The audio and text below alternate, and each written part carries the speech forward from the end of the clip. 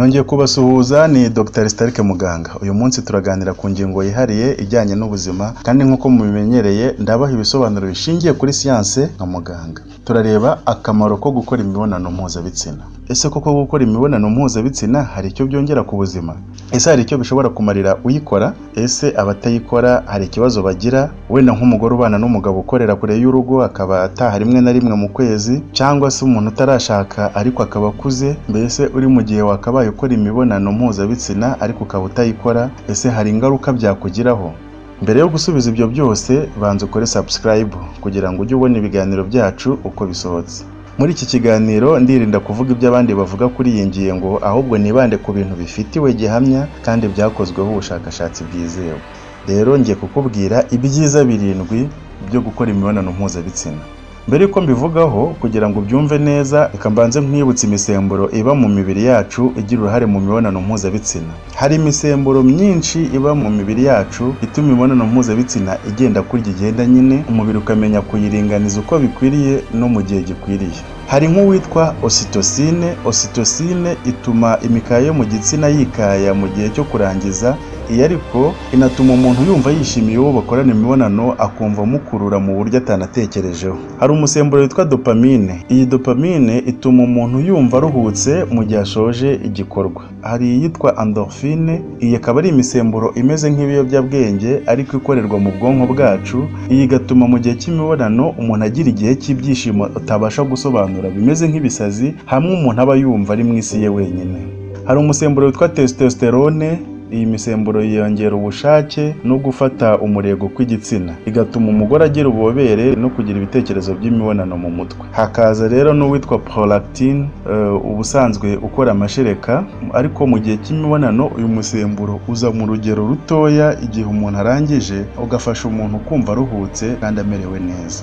Hari rero n'indi misemburo myinshi tutavuze aha ariko iyi tuvuze haruguru iradufasha gusobanukirwa ibyiza by'imibonano kurushaho. Icya mbere ni uko gukora imibonano bigabanya siteresi cyangwa se imihangayiko.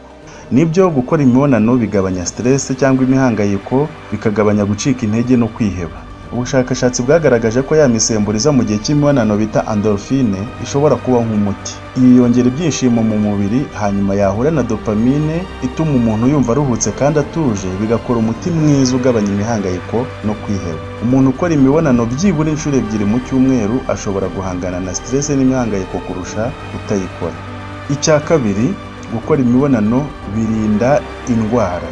Ubushakashatsi bwinshi bwagaragaje ko gukora imibonano bituma umubiri urushaho gukora abasirikare b'umubiri benshi bawufasha kurwanya ama infection y'ubwoko butandukanye zaba bagiteri cyangwa virusi ku buryo umuntu ukora imibonano buri gihe ataganzwa n'indwara zoroheje nka giripe n'izindi ndwara zoroheje kimwe n'udakora imibonano. Aha ariko mugomba kwitonda kuko nubwo imibonano yongera ubudahangarwa bw'umubiri ariko ibi ntibibuza ko ushobora kuyanduriramo indwara zikomeye nk'imitezi mburugu ndetse na sida. Rero hari ibyiza byo gukora imibonano ariko hakaba n'ibibi byabyo na byo umuntu aba agomba kureba. Icya gatatu gukora imibonano mpuzabitsina bishobora kukurinda kurwara umutima. Ubushakashatsi bwagaragaje ko abagabo cyangwa abagore bakora imibonano inshuro ebyiri cyangwa eshatu mu cyumweru barwara indwara z'umutima gake kurusha ababikora inshuro imwe mu kwezi cyangwa ntibanabikore abakoze ubu bushakashatsi bavuga ko bishobora kuba biterwa n'uko mu gihe cy'imibonano umutima utera cyane ukarushaho gukomera kandi ya misemburo yo mu gihe cy'imibonano igabanya siteresi n'umuvuduko w'amaraso ibi kandi bikaba ari byo bikunda gutuma abantu benshi barwara umutima. Iyo rero siteresi igabanutse umuvuduko w'amaraso ukajya kuri gahunda umutima ukawukoresha cyane indwara z'umutima ziba nkeya kurusha uko waba utawukoresha. Icya kane gukora imibonano mpuzabitsina bigabanya umuvuduko w'amaraso. Nk'uko nabibabwiye umwe mu misemburo igira uruhare mu mibonano mpuzabitsina ni uwitwa ositosine ubushakashatsi bwagaragaje ko uko ositosine yiyongera mu mubiri ariko umuvuduko w'amaraso wo ugabanuka. Abagore n'abagabo bakora imibonano kenshi ntibakunze kugira ibibazo by'umuvuduko w'amaraso kandi niba ujya ugira ikibazo cy'umuvuduko w'amaraso uri hejuru gukora imibonano mpuzabitsina buri gihe byagufasha kuwugabanya ku rwego rumwe no gukora siporo kugabanya umunyu no kureka inzoga. Gukora imibonano mpuzabitsina rero bigabanya umuvuduko w'amaraso si umuti w'umuvuduko w'amaraso ntabwo byawukiza burundu uramutse uwurwaye ariko hari icyo bigabanya ku buryo kuyikora kenshi bishobora gutuma umuvuduko w'amaraso wawe ujya kuri gahunda. Hanyuma icya gatanu imibonano ni umuti w'ububabare. Abantu benshi bazakubwira ko iyo ukoze imibonano umutwe ukurya cyangwa waribwaga mu ngingo cyangwa ufite amavunane bwa bubabare bwose buhita bushira ukumva uruhutse. Ibi niko bimeze rwose ntabwo ari ukwibeshya. Ya musemburo twavuze haruguru yitwa endorphine ikozwe mu binyabutabire biba mu rwego rumwe n'imiti y'ububabare bita morphine n'indi yo mu bwoko bwa opioid. Ubushakashatsi bugaragaza ko iyo ukoze imibonano umubiri wawe ukavubira iyi misemburo yitwa endorphine. Ihita igenda igahagarika ububabare wumvaga mu bice bitandukanye by'umubiri. Uku niko abagabo benshi bavuga ko imibonano ibavura umugongo cyangwa amavunane cyangwa se abagore benshi bakemeza ko iyo bamaze gukora imibonano barekera kubabara umutwe igifu cyangwa mu kiziba cy'inda. Ibi ni ukubera ya misemburo bita endorphine. Icya gatandatu imibonano mpuzabitsina ubwayo ni umuti wongera ubushake. Uti gute? Hari abamama baza kwivuza ibibazo bijyanye no kubura ubushake n'ububobere ugasanga ikibazo bafite ni uko badakora imibonano. Bityo igihe ayikoreye akisanga ababara bikagabanya ubushake n'ububobere. Gukora imibonano buri gihe bituma imikaya yo mu gitsina ikweduka. Uruhu rukamenyera kandi imisemburo igenga ibyishimo bijyanye n'imibonano ikiyongera mu mubiri. Bityo gukora imibonano byibura kabiri cyangwa gatatu mu cyumweru bishobora gutuma umugore arushaho gushimishwa n'imibonano ndetse n'ububobere bukagera aho bukizana. Muri make uko urushaho kubikora buri gihe niko urushaho kumenyera ni nako kandi urushaho kumva uburyohe bwabyo. Icya karindwi gukora imibonano bituma isinzira neza kurushaho. Gusinzira neza no kuruhuka neza bituma ubwonko bwawe burushaho gutekereza neza bikagufasha kwibuka vuba no gukemura ibibazo neza kurushaho. Ubushakashatsi bwagaragaje ko mu gihe cyo kurangiza umubiri wawe usuka imisemburo mu maraso utuma wumva uruhutse uguwe neza kandi wishimye. Nk'uko twabibonye hari umusemburo witwa prolactine ubusanzwe ukora amashereka ariko ukaboneka ku rugero ruringaniye mu maraso iyo ukimara gukora imibonano.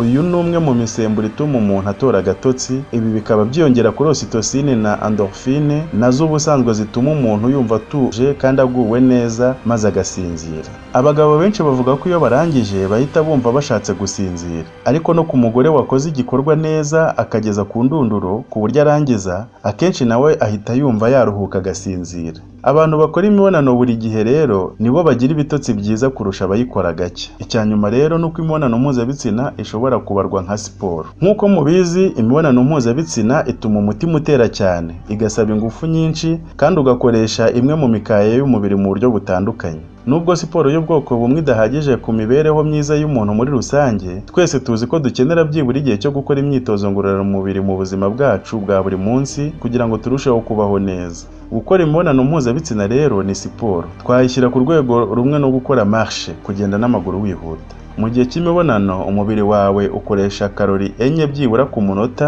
bityo bigashyirwa mu rwego rw'imyitozo ngororamubiri iringaniye. Ngibyo rero ibyiza byo gukora imibonano mpuzabitsina buri gihe ariko hari n'ibindi tutavuze kimwe n'uko hari ingaruka mbi zo kuba wakorana imibonano mpuzabitsina n'abantu benshi na byo tuzavuga mu biganiro bitaha. Nanone mbibutse ko gukora imibonano mpuzabitsina igihe kitaragera ndavuga kuyikora ukiri muto cyangwa utarashaka byo bijyana n'ingaruka mbi nyinshi ziruta ibyiza wayikuramo. Umubiri wacu ukoze ku buryo hari ubundi buryo wabonamo ibyiza byose twabonye haruguru udakoze imibonano cyane cyane iyo ukiri muto. Urugero abakiri bato n'ubusanzwe ntibagira stress nyinshi ntibakunze kugira umuvuduko w'amaraso ukabije. Kandi ntibakunze kubura ibitotsi. Bityo si ngombwa ko bakora imibonano mpuzabitsina. Ikindi kandi ya misemburo ivuburwa n'umubiri mu gihe cy'imibonano yitwa endorphine ituma ukomeza kumva wifuza kongera gukora imibonano.